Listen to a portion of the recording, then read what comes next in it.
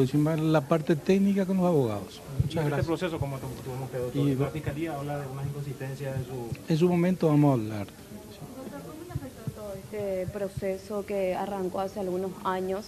Y bueno, hoy no se pudo hacer el juicio oral y público, pero ¿cómo le afectó toda esta situación? Indefectiblemente que tiene un efecto.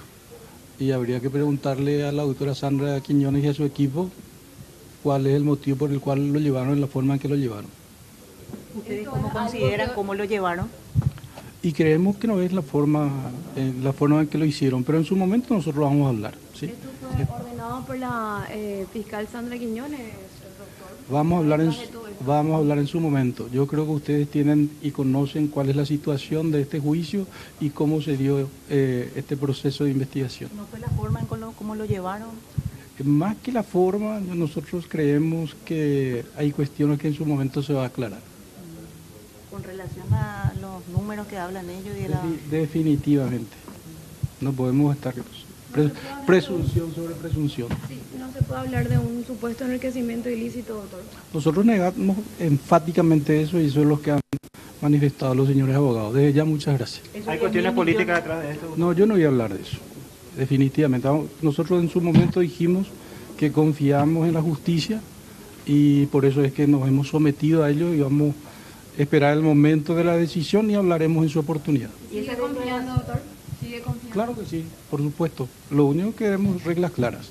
Esa declaración de Estados Unidos, Y habría que pre- preguntarle a las instituciones que llevaron esa información a la Embajada de los Estados Unidos. Yo no te puedo decir qué ¿qué institución pública. llevaron, creen ustedes? Y, y ustedes son los investigadores y tendrían que saber cuáles son ¿De la las... doctor? Claro, definitivamente. Hasta hoy yo no puedo. Yo, sencillamente, la forma en que me trataron hasta hoy es una locura. Pero como parte afectada, la Embajada de los Estados Unidos le informó por qué proceso, por qué hechos lo declaró significativamente. Jamás, nunca, No recibieron ningún nunca, tipo de- nunca. No sabemos hasta hoy.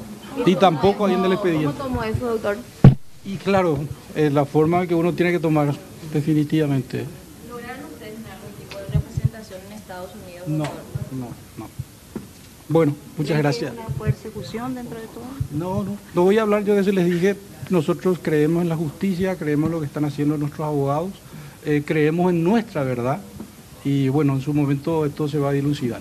Lo único que esperamos, así que como creemos nosotros en la justicia, verdaderamente en el momento en que ellos dicten sentencia, dicten en base a lo que hay en la carpeta fiscal, no de acuerdo a presiones, a titulares, etcétera, etcétera, porque definitivamente lo que hizo la embajada es una presión enorme en relación a cualquier tribunal que se forme en este momento. La mayor presión la está ejerciendo la Embajada de los Estados Unidos. Definitivamente, eso es categórico. Quien diga lo contrario es una mentira enorme. ¿Movido por qué? Eso yo ya no sé.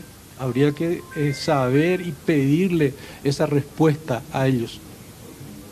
Lo que manifiesta entonces el doctor Javier Díaz Verón, es fiscal general del Estado, en relación a este juicio que estaba marcado para hoy el inicio, pero se suspende por lo que ya nos explicaba el doctor Mario Liceche Baudo. Se apeló la integración de este tribunal de sentencia, de la cual, según la defensa, ellos ni siquiera fueron, ni siquiera fueron notificados. doctor.